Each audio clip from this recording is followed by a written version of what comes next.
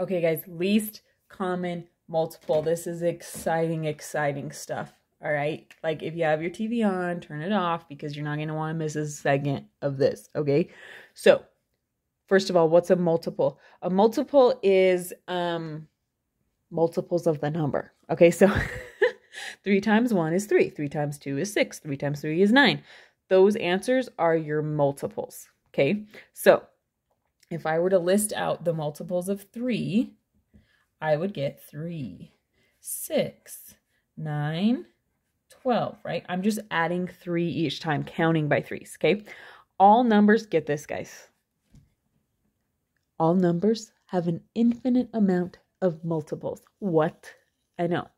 You should write that down because it's a big deal, okay? So I can't write them all out, literally. I can't. So I'll just write out a few and then um, you might need to add more if you don't get to one that it has in common, okay? So I just added 15 here, 18, oh my gosh, yes, 18.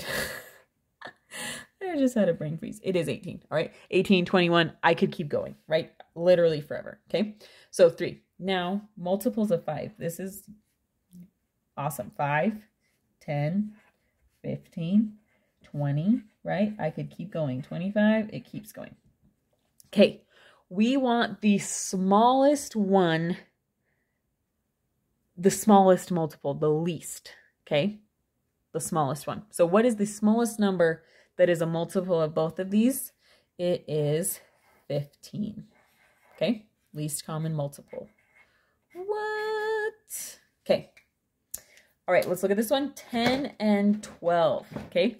Multiples of 10, easy. You've been doing this since like kindergarten, right? 10, 20, 30, 40. I could keep going, right? Okay. And 12, these ones maybe you don't know as well, but still we can do it. So 12 times 1 is 12. 12 times 2 is 24. 12 times 3 is 36. 12 times 4 is 48. You get the idea. Keep going. Okay. So right now I'm stopping and I'm like, uh-oh, they don't have any in common. Well, they will. It just means we haven't gone far enough. Okay. So I'm going to do a few more 10s. 40, 50, 60, 70. We'll see if that's enough. Let's go back to our 12s. uh, 48 plus 12 gives me 60. Oh, and look, there we go. I went far enough. So here we have a 60 and a 60. Those are the smallest multiples, the least common multiples of 10 and 12. So my answer there is 60.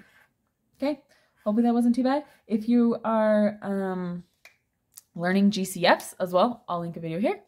Um, hopefully that made sense and you can get your homework done.